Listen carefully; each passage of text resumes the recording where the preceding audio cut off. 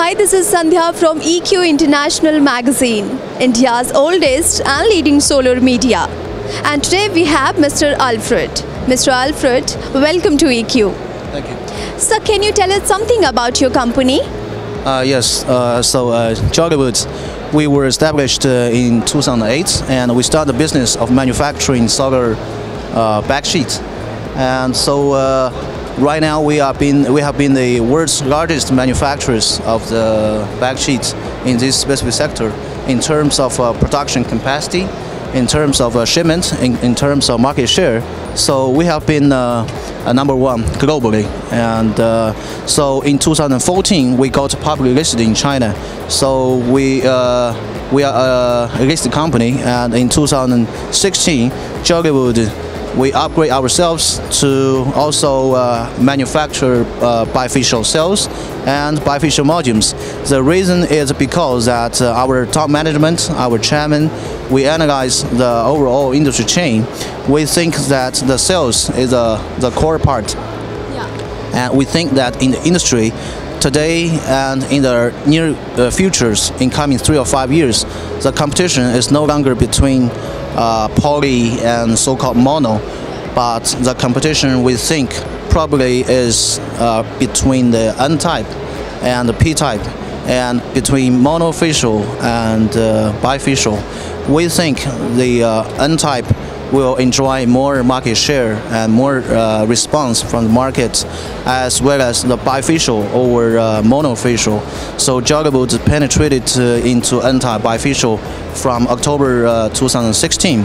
So till now, we already have uh, 2.4 uh, gigawatt N-type bifacial cells, as you can see here, manufacturing capacity in Taizhou in China, and uh, 1.2 gigawatts uh, bifacial module manufacturing capacity and uh, we are still expanding the capacity both in cells and modules because uh, from uh, many markets like China, like Japan, like Europe, and even India, we have many positive feedback uh, from the market.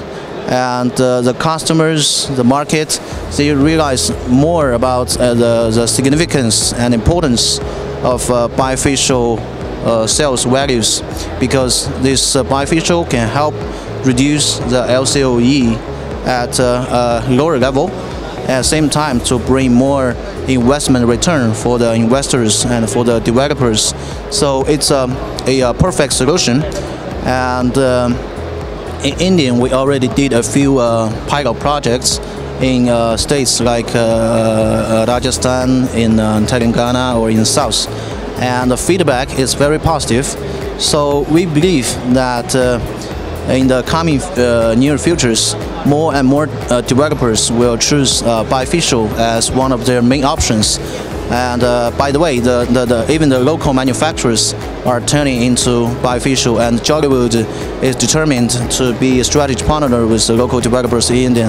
And uh, furthermore, we are also considering to manufacture in India. Depends on the market uh, response and the local policy, some things like that. Yeah. So, uh, what's your upcoming plans or projects for Indian market and international market as well?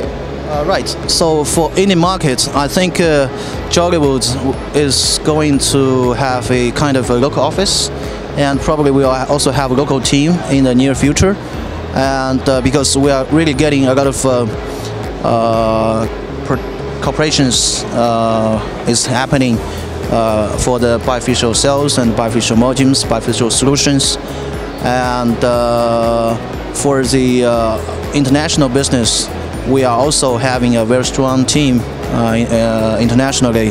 So just yesterday, I think we got a, uh, a big order, a big corporation from Europe, from Netherlands, and so in EU and in Japan, these markets, they are um, recognize this bifacial value uh, easily, more easily, French speaking.